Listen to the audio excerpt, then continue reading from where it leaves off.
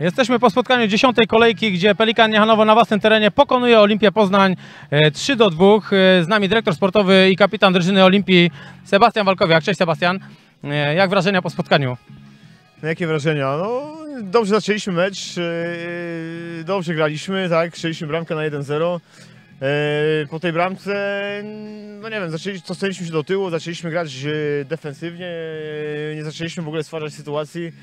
Pelikan przyjął inicjatywę, yy, strzelił dwie bramki do przerwy, yy, jedną z karnego, który pewnie e, pewnie można zacząć e, tutaj na, w telewizji naszej, ale no nie wiem, nie wiem czy był karny, ale tutaj z trybun wyglądało, że, że raczej e, najpierw naj- był e, faulowany nasz e, obrońca, ale nie można też zwalać na, na sędziów, tak? Zagraliśmy mm, na początku dobrze, później słabo, więc e, chyba zasłużenie chyba Pelikan wygrał dzisiaj mecz.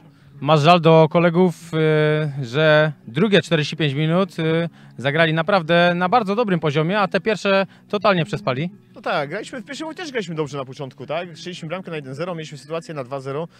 Eee, druga połowa też e, przeważaliśmy, tak? Pelikan dwa razy, dwa razy e, można powiedzieć, że był u nas w polu karnym, strzelił bramkę.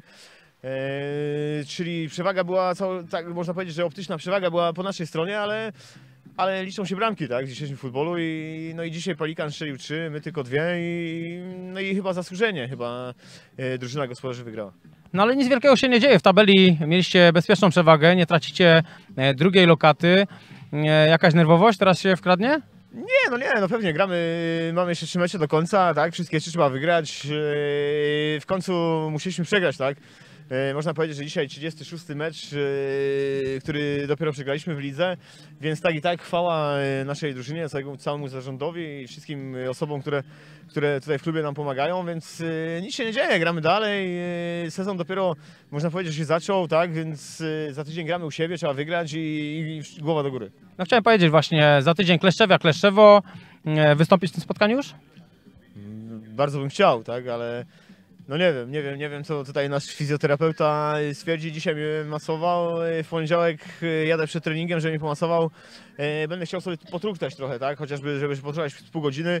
No i ogólnie rzecz biorąc już mnie prawie nie boli, tak, więc chciałbym grać, dzisiaj chciałbym grać, ale ale tutaj stwierdziliśmy dzisiaj z trenerem i z Marcinem e, Koździeciakiem, naszym fizjoterapeutą, że to by było zbyt e, ryzykowne, żebym dzisiaj zagrał, ale, ale no chciałbym grać, no wiadomo, nie? Wiadomo, każdy chce grać, ale no, e, zdrowie jest najważniejsze, tak, powiedzmy i, i no, zobaczymy w, w czwartek po treningu. Tyle Sebastian Walkowiak, dyrektor sportowy i kapitan drużyny e, internetowego klubu piłkarskiego Olimpia Poznań. Olimpia Poznań e, doznaje goryczy pierwszej porażki ligowej od początku istnienia e, klubu na terenie Pelikana Niechanowo.